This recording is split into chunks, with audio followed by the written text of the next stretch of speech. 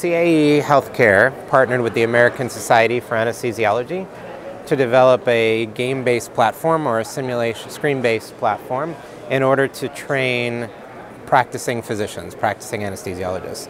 And the idea is that in addition to or as an augmentation to live simulation training centers, they're also able to go online and get their CME credits and their MOCA credits, or their maintenance of certification in anesthesiology. So this was developed with a team of anesthesiologists who also have an appreciation for simulation, many of them coming out of the live uh, simulation centers. And what we've done is we've looked at emergency anesthesia situations, some of the low occurrence or some of the low occurrence high risk events, and we've put them in a game-based platform so that you can try to manage the patient in an emergency situation, and we give you obstacles along the way to make it harder to to manage the patient. Okay. So it's accessible via a web browser from wherever one wants to log in, whether it's their office, their home, the airplane. Uh, even works pretty well off of a uh, phone hotspot, so it doesn't require a lot of bandwidth, nothing to install on the computer, um, no plugins or anything else like that. This case is a young male who was injured in a car accident. Right now, the doctor is explaining, or, or the surgeon is briefing the team as to his uh, situation, his history. Within the environment, I play the anesthesiologist. So I can look around, I can interact with any number of pieces of equipment, I can interact with the patient, I can look at his electronic medical record, for instance, and learn about all the information I need in order to, to treat him. As the anesthesiologist, I'm responsible now for really helping to stabilize the patient. Everything in the environment that glows yellow is an interactive object. So if I click on the IV pole, I can see that I'm giving him fluid, but at a really slow rate.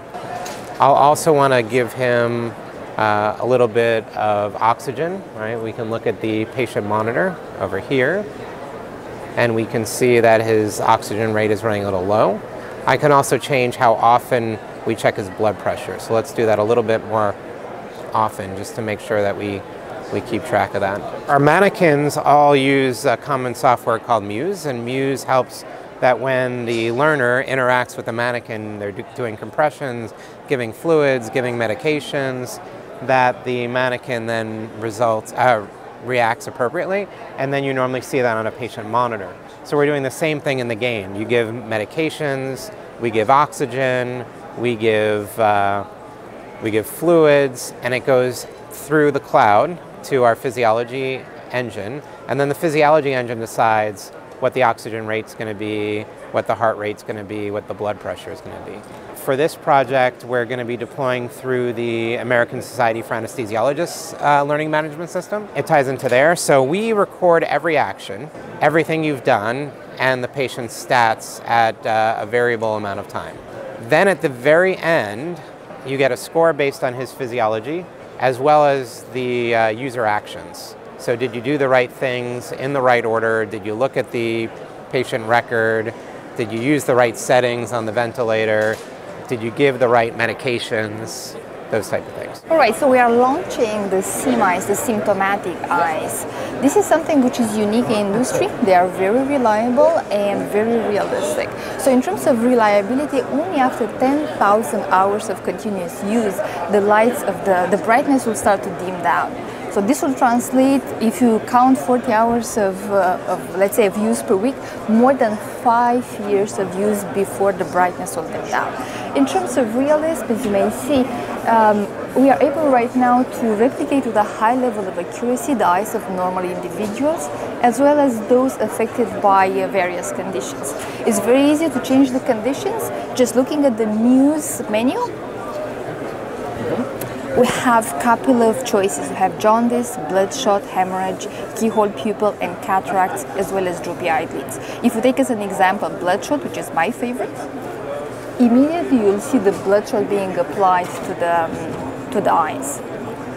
Also, what's new in Muse together with the SIMEYES is the capability of having consensual pupil response, as well as the capability to change the eye movement from left center right, and so forth.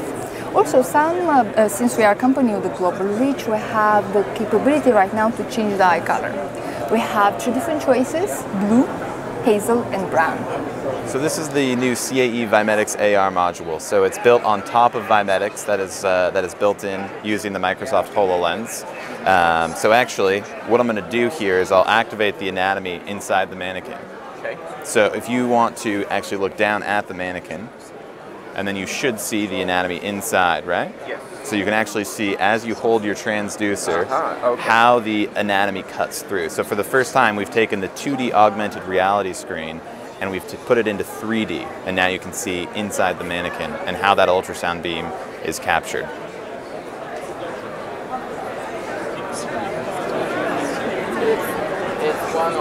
And we also have the ability to overlay the echo image as well.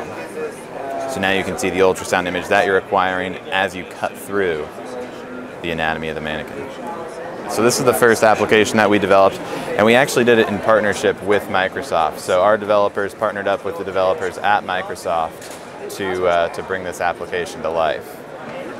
And then we formed a, a partnership with them, so we're actually the first company that's able to distribute or resell the HoloLens directly to our customers.